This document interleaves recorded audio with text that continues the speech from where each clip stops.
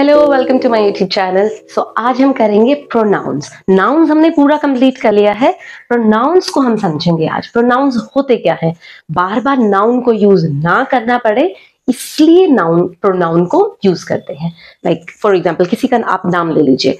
राम। राम खाता है, राम उठता है, राम बैठता है बार बार राम तो नहीं बोलेंगे राइट तो वहाँ रोल आ जाता है प्रोनाउंस का। आज हम करेंगे थ्योरी क्लास की प्रोनाउंस के टाइप्स उसको थोड़ा सा अंडरस्टैंड करेंगे।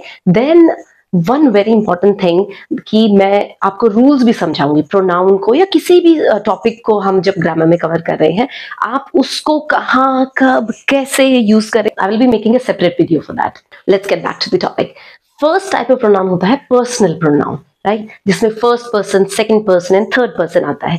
मैं बोल रही हूँ तो मैं फ़र्स्ट पर्सन हो गई। आप लोग सुन रहे हैं तो आप सेकंड पर्सन हो गए। जिसके बारे में हम बात कर रहे हैं वो हो गया third person very good so ये पता है? Okay here is a list for you for you to refer आप इसको अच्छे से देख लीजिए। Okay great so second type of pronoun आता है रिफ्लेक्सिव प्रोनाउन पर्सनल प्रोनाउन के आगे जब हम सेल्फ लगा देते हैं लाइक मैं कोई काम करती हूँ तो myself right I do my work myself yourself themselves तो इनको हम इस कैटेगरी को हम बोलते हैं reflexive pronouns okay number three is demonstrative pronoun जब हम किसी ऑब्जेक्ट को पॉइंट करते हैं both pens are good but this is better than that this होता है जो मेरे पास है नियर टू मी दैट जो दूर है। और इसका प्लूरल हो जाता है दीज एंड दोज दीज जो मेरे पास है, बहुत सारी चीज़ें दोज जो दूर है। Next is indefinite pronouns जहाँ पर हम पर्सन या थिंग दोनों के बारे में बात करते हैं in general way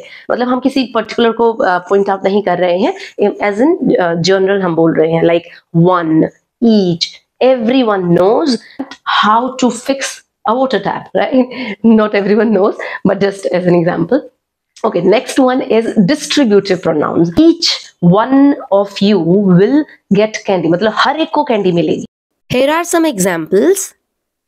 You can also take a screenshot of it. Relative pronouns. I met Sneha who used to work with us in IBM. Right? ये वही लड़की है जो हमारे साथ IBM में काम करती थी तो who यहाँ पर हो गया relative pronoun. Okay, last one is interrogative pronouns जब हम interrogation is again that word uh, which means cops होते हैं police होती है वो uh, interrogation करती है ना questions करती है whose car is this ये किसकी कार है हुज इसमें हो गया interrogative pronoun who made the cake right who like the video so I hope that was helpful thank you for watching